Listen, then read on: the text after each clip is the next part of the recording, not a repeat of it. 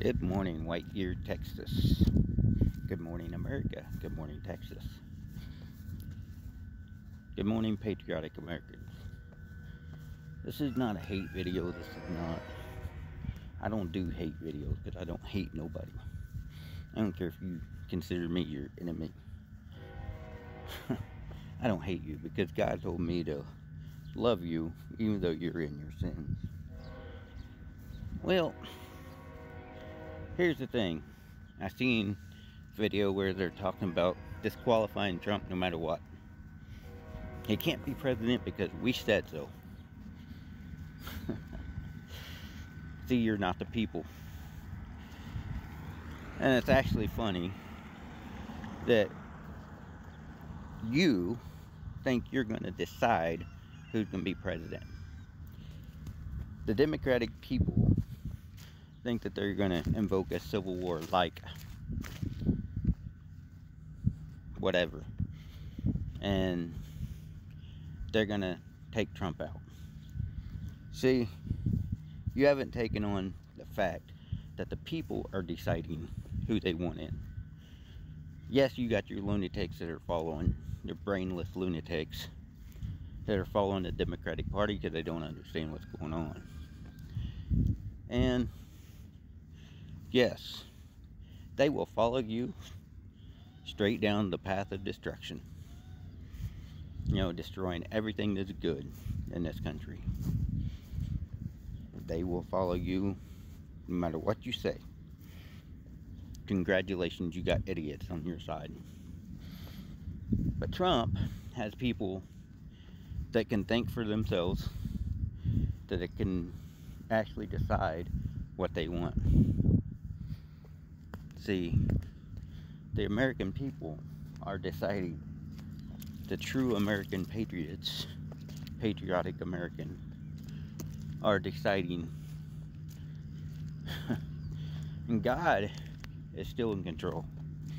See, your evil ways that you've been doing for so, far too long only can hold up for so long. And you know you're going to lose. See, that's the great thing about God. He wins in the end anyways. So, your fight against God and God's people is futile. Even the devil knows it's futile. See, that's where the Democratic Party has it wrong. See, they think that they're going to win. They think the World Economic Forum and all these other people that hide in the shadows, you know, and they supposedly run the world, they think that they're going to win. No, God's already won. It's already over and done with. To actuality, the storm has passed us by last night. It rained good last night, but the storm is yet to come. The storm is yet to come. If this evil is allowed to prevail. yeah, God is still in control. And you know what's beautiful? Jesus, when he comes back, he's going to take those that believe in him. And those that don't, well, have a good day. Well, eternity. Anyways, these people think that they already got the game plan laid out. Even the World Economics Forum and these uh, future, these people that are doing this future summit, the future world summit or whatever it is, you know, the Bloomberg Society and all these other groups that think that they can just take over. They think that they run the world. Sorry to tell you.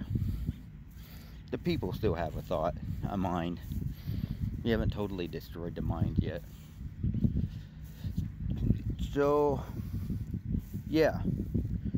Reason why we want Trump, because Trump is a ideology and a symbol of our freedom.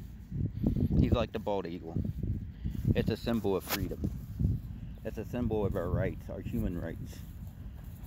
And yes, Trump is an awesome person. Trump is a person that can get stuff done that we want him to get done. And Vance, we're hoping you're Vance, we hope that you're one of the ones that's going to help get that done. Um, so we're putting faith in Vance too. We're putting faith in Trump, that Trump is a part of God's team. Vance, we're hoping that you're part of God's team. And I'm telling you, if you're not, the American people will voice their opinion. They will voice their opinion so loud you'll understand. Because the American people are tired. They're tired of all this stuff that is making life hard. People like me and my wife that are struggling to get back on our feet. The price of everything is just ridiculous right now. And you can't afford nothing. And getting back on your feet is harder than it used to be. It used to be okay, you stumble, you take about a year or two to get back, back on your feet. No, it's taking a few more years than that right now. And I'm telling you what, Joe Biden and or Harris, I should say, and this Walz dude, we'll never get back on. People like us will never be able to get back to work or get back to owning a car or the simple things of life that we should be able to have, afford to have. See, American people are tired of being taxed out of their homes, being their homes being stolen by the government because of civil asset forfeiture and a whole bunch of other legal mumbo jumbo. We're tired of being pushed around by law enforcement. We're being tired of being pushed around by government. We're tired of being told how to live our lives, how we should live our lives, what we should be envious of and what we should should not be envious of. See this Hollywood idea of living in a big mansion, that's that's beyond anybody's dream. Because the taxes and everything else are ridiculous. To get a car, to get a vehicle, the taxes, the insurance, the every Trump train. Trump train, two Trump trains. Anyways, the taxes and everything else on everything is ridiculous. To get a vehicle, get a house is so ridiculous to even buy a piece of land, you can't even build on it unless you do what they want and their permission and their codes and their all their BS. So for us, people that are wanting to live just a peaceful life and have just a little tiny piece of land, we can't afford it. For those people that just want to build a tiny little house, put a tiny house on a piece of property, you can't because the government has deemed those tiny houses unsafe supposedly. it's not your I, your responsibility to, for our safety. If we want to be stupid and build stupid houses, we're going to build them. See, government doesn't have responsibility for us. We have responsibility for ourselves. the government's butting in too much and far too, way too much, and they're putting their claws into us too much. So, yeah, we American people are tired of the BS. So, y'all have a good day. And please check out my other channel on here because, you know, TikTok likes to play games. So, same name.